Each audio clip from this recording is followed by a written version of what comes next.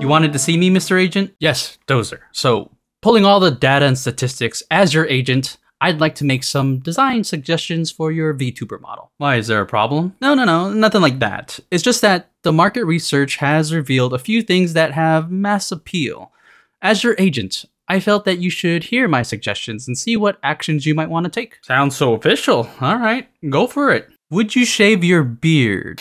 Facial hair isn't really a thing for most male VTubers. I kinda like my beard. I've had it for a while, and I think it makes me stand out. How about considering showing more skin? Or at the very least, a deep V-neck. There are a lot of male VTubers with open shirts, or are just straight up topless. I'm kinda cold. What about adding more fantasy elements to your look? Like adding horns. Horns are popular. Really? Horns? I think horns are a little too unrealistic.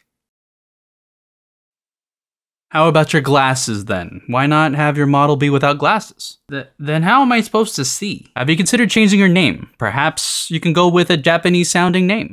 It's a popular trend among top VTuber agencies. But I'm American. You made up your name. Yeah, and it has a story to it too. I just think there are more appealing names out there for you to choose from. But I like the way Dozzer sounds. You do? Bro. Now, I know this is a touchy subject, but I'm gonna say it anyway.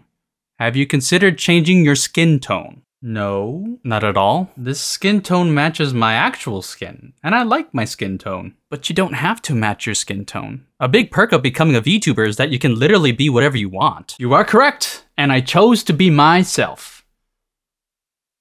With cat ears. I'm just looking at the research and the popularity and success rate of lighter skin tone VTubers. Does it look like I give a about what popular VTubers look like? As your agent, I am simply doing Look, Mr. I... Agent, uh, John, can I call you John? I asked you to stop calling me Mr. Agent months ago. As a small VTuber, I'm fully aware of what's popular out there. But like many VTubers that I take inspiration from, I fully intend to go about this my way, in the skin that I'm in. And if skin tone is important to some other VTuber out there to express themselves, and if by some tiny margin I can help them be more comfortable in doing so, that would mean more to me than any success I could get from mass appeal. Do you get what I'm saying? Okay, okay, my apologies. I won't push the topic any further. What to do with all this research though? Well, you can throw it in the dumpster fire with Nijisanji.